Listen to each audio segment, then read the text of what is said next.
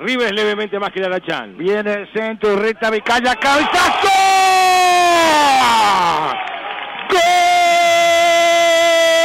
¡Gol de River! Salaberry. Salaberry, para mí el capitán Horacio Salaberry. Centro puesto como con la mano. Y Urrita Vizcaya, una pegada formidable. Es bueno tener cabeceadores, pero también tenés que tener buenos tiradores, hombre, de excelente pegada. Lo tiene River en Urrita Vizcaya.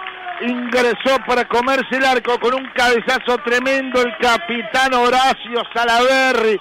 Y exactamente a los 27 minutos, aquí en su cancha, gana River. River 1, Cerro Largo 0. Se lo habíamos anunciado.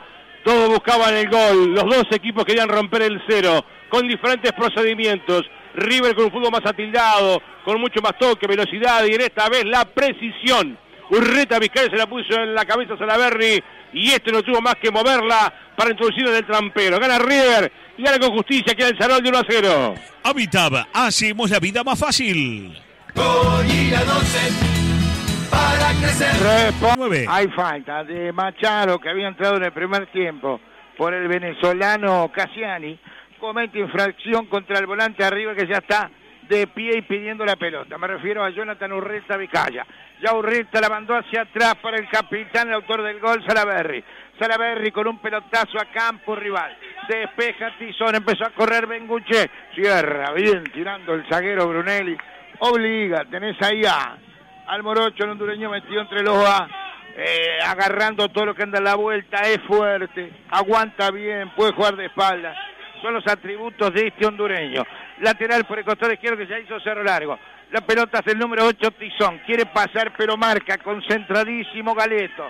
Manda la pelota afuera. Ya sacó Tizón de costado colocando el pase para Gianoli. Gianoli hacia la izquierda con Tizón. Tizón al medio. Eh, va atacando Enrique. Se saca uno de encima. La pisa el número 26. Abre buen pase para Adolfo Lima. Tiene más la pelota a cerro largo. ¿Qué pase metió para Villar? Fue a buscar la boca del lobo, se dio media vuelta, notable centro de Lima. La bajó Machado, ¡gol! ¡Max! ¡Gol!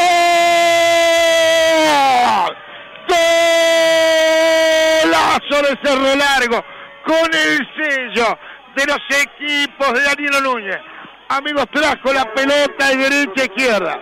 Y cuando estaba metido en el área, este moreno que le cambió la cara, Adolfo Lima, con su tremenda calidad, la metió hacia el medio.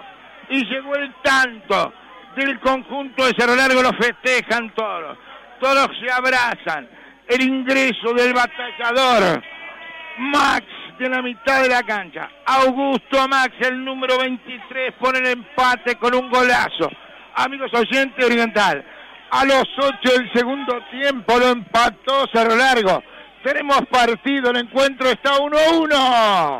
Y había entrado con otra actitud del Arachán. El ingreso de Adolfo Lima le dio más tranquilidad, más fútbol atildado. La hicieron muy bien de izquierda a derecha.